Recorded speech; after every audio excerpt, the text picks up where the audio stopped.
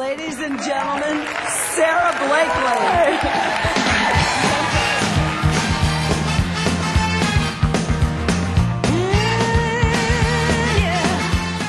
How many people know Spanx?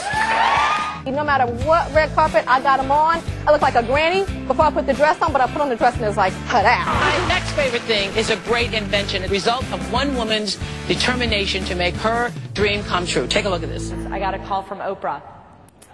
And that is such a blessing to entrepreneurs, as you know.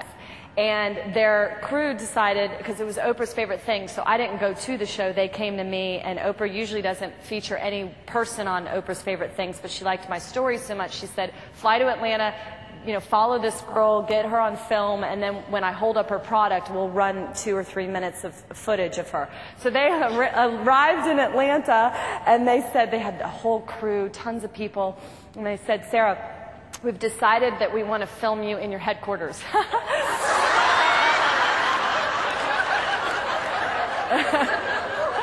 I was like, okay, you're here.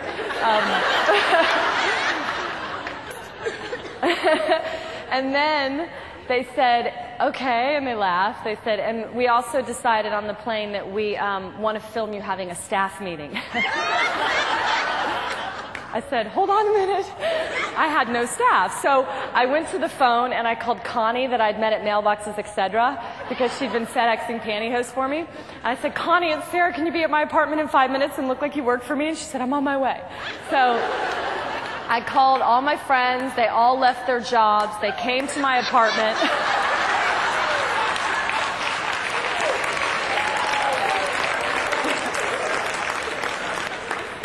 They all came to my apartment, and that was my staff meeting. We sat on the floor of the back room in my apartment, and that was, you know, very, very exciting.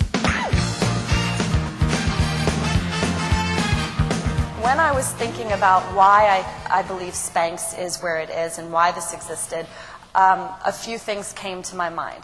The first one, believe it or not, is failure. Um, I had always wanted to be a lawyer and I basically failed the LSAT. I'm a terrible test taker, and that was a devastating moment for me. But what I quickly realized was that failure is nothing more than life's way of nudging you and letting you know you're a little bit off course. And Spanx would not exist if I had not failed or basically failed the LSAT. I also was raised by um, my parents. My dad had this um, thing that he did when we were little, and it made me realize that I'm really not afraid to fail at all. My biggest fear would be to not try something. And my dad, when we were young, my brother and me, we'd sit at the uh, dining room table at night, and he would say, What did you guys fail at this week? And if we didn't have something, he'd be basically disappointed.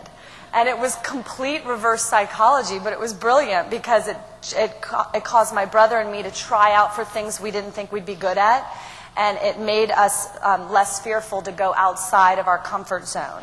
So um, I really believe that that's a big part of it. The second is visualization. I have always visualized this for myself.